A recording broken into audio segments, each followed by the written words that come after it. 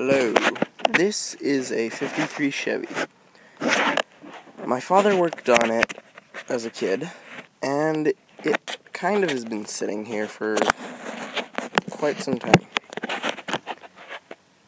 There is a lot of damage, and the engine is getting quite old, but someday it may be fixed up.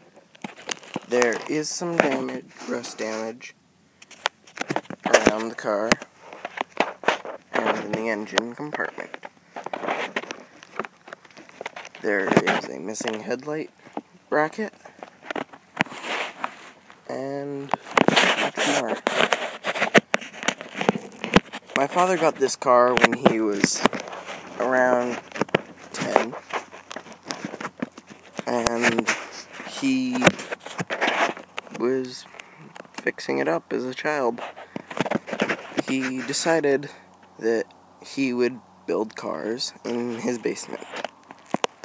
And he still ha- is doing repairs to old cars. There is dents like this one. And there is chips in the windshield and a very large crack The seats have been replaced pretty recently, about five years ago. And that's all that's been replaced recently, I believe. The car was manufactured in 1953, hence it being a 1953 with lights like this, it looked pretty similar to most cars at its time. The gas tank is on the left side of the vehicle. There's the gauges from way back when, when this car was manufactured.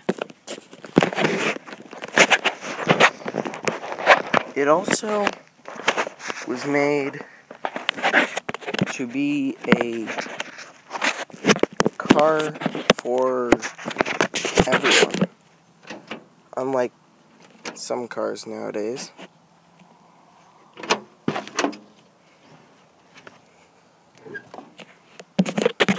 Here you can see the grill and the steering wheel and column. There are no door panels on the inside in the front. The back has them. There are roll down windows. I believe they are stuck right now.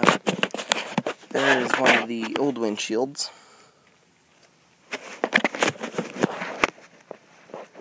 The trunk do not know how to open it. But that probably isn't important. The wheels are flat, and there is rust damage in multiple places.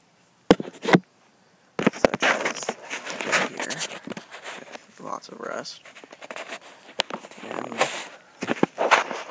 rust and over here.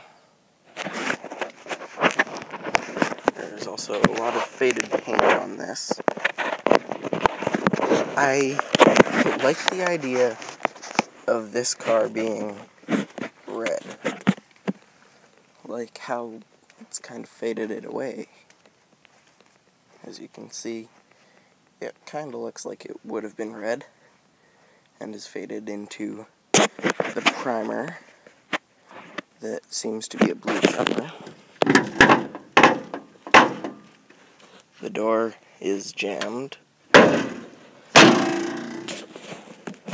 That's fixed now.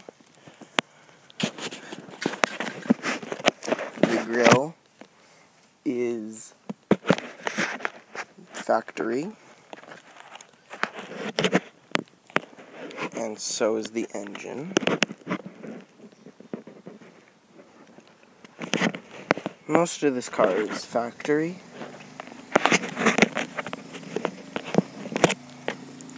And has been factory its entire life. There's an old Chevy emblem.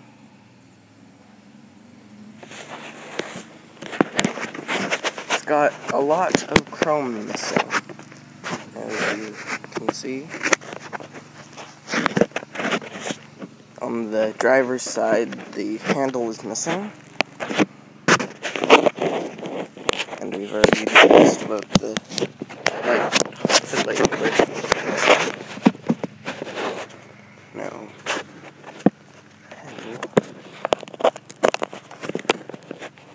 There is some moss growing on it.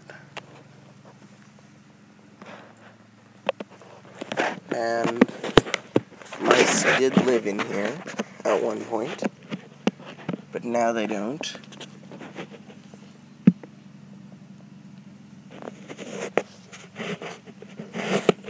The floor is carpeted. There are two horns. And the hood release is down there. There is a front license plate holder.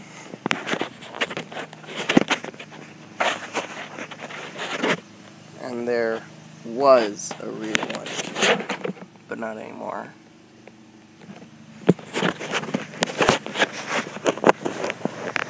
This car has been in my family for quite some time, and I hope that you enjoyed this video.